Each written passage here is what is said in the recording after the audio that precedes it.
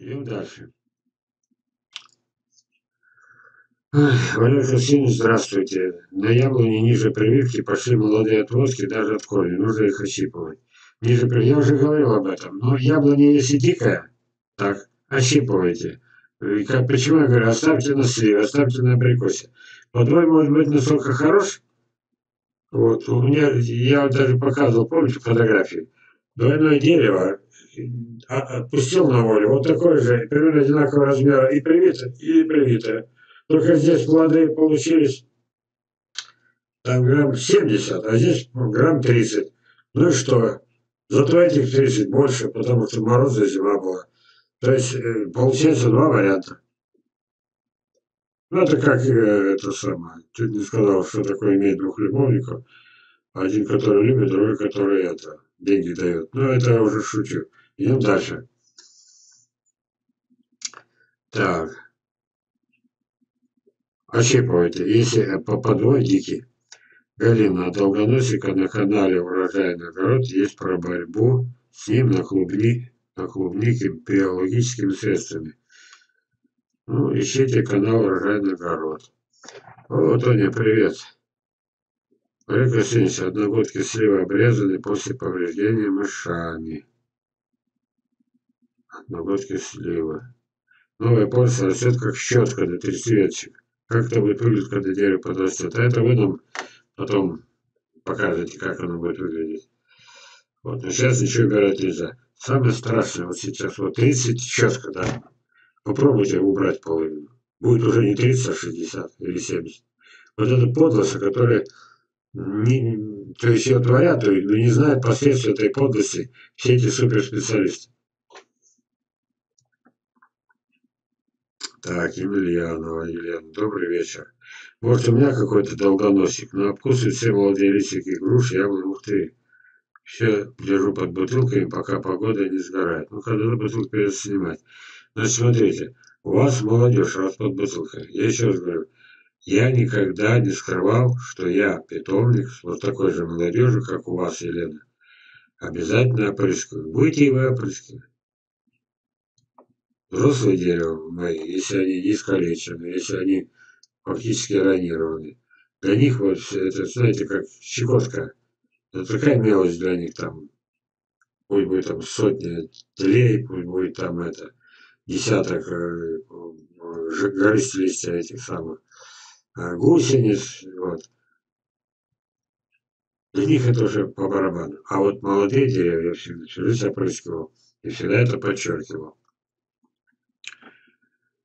Так, в заморозке повредился листок на самом верху ростка из косточки абрикоса. Есть шанс, что выкарабкается. Побелел при заморозке, сейчас сухой. Ждите, может выкарабкаться. Вы помните, уже я показывал? Сейчас я не помню ни автор этих фотографий, ни откуда. Помните, там такие бутылки были, примерно пятилитровая без дна накрытые. Все, померзло. Минус 10 я даже запомнил, по-моему, что это, кажется, было предуралие. Урал. Вот. Прошло время присылать фотографии прямо от, от этого, прямо оттуда, от, как это назвать, ну, наверное, можно назвать, э, даже трудно сказать, там уже практически ничего не осталось. Вот. Ну, что-то что, что получилось. Сейчас еще вспоминаю какие-то детали.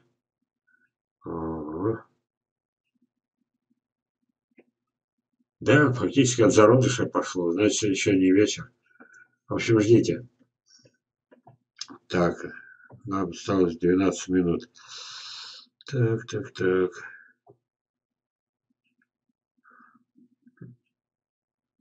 Как отмыть от побелки? Повредится кора, саженец, кора еще нежная. А вот как хотите, как это самое калечили, так и отмывайте. У меня такого опыта нет. Попробуйте хотя бы, попробуйте хотя бы струей воды. Хотя бы. А там видно будет.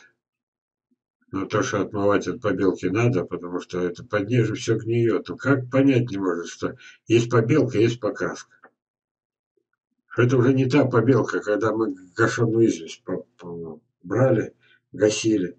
Побелишь, она такая бледно, это, смотришь, через дожди пошли, ее нету. Давай еще раньше. как-то было прям при минусе мажу, мажу эту, потому что знаю, что караул сейчас убьет. Ну, нас же зашугали, что сейчас солнечные ожоги убьют э, дерево. Вот, и прямо вот мажу, смотришь, она прямо э, льдом покрывается, то есть температура минусовая, зато в марте. А потом раз плюсовая, и это все обвалилось. Осенью тоже, эти, это же побелкой гашеной известью намазал, к весне ее следов нету. Это потом появились, а вам же надо продать все эти самые, уже, уже не гашеную известь, а давайте в нее добавим то, давайте то, давайте глину добавим, а до конца закупорим все эти самые. Э, как будто не знают, что для чего нужна кора. Что, читать лекции, для чего кора нужна. Воздухообмен, кислород, вот, устица, потеют, когда жарко, закрываются, когда холодно. А? Что мы только не выдумывали, чтобы это, заработать на нас. Валерий Константинович говорит, постараюсь фото за скайфир прислать на сайт. Спасибо. Так, друзья, мы постарались. Почти два часа прошло. Пока никто не пишет, нам надо прощаться. Вот, значит, напоминаю, тех, кто попадается новички, значит, диски никто не отменял. Есть куда диск воткнуть? Заказывайте. Там все сжато. Вспомните мой а что я говорю, все равно никто ничего не купит. Я несколько раз говорил про диски, ни одной не купили. Несколько раз говорил про эти брошюры, ни одной не купили. Несколько раз говорил про эти, про книгу, всего-то 600 рублей. Вот, а мне э, простым языком несколько этих советов на уровне этой, премии государственной или Нобелевской. Ни одной не купили. А я сейчас снова раз буду это вот. Единственное реально, что сейчас можно продать посреди лета, это не придать, а в общем, начать предварительно, чтобы у меня уже есть э, очередь. Потому что чего-то будет много, чего-то мало. Я смотрю, одно дерево сбрасывает э, плоды, вот такие вот, сами видели, а, а другое не сбрасывает. Этих будет много, этих будет мало.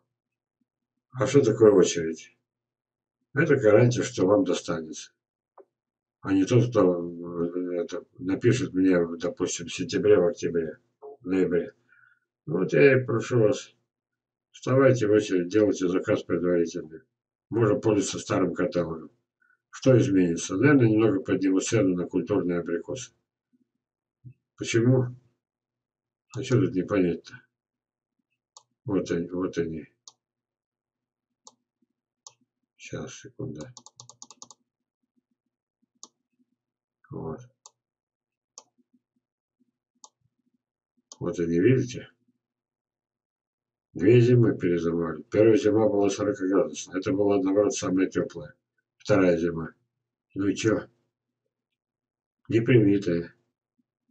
Не зря прожили столько лет. 30-40 лет в Сибири. Все, друзья, до свидания. Я с вами прощаюсь.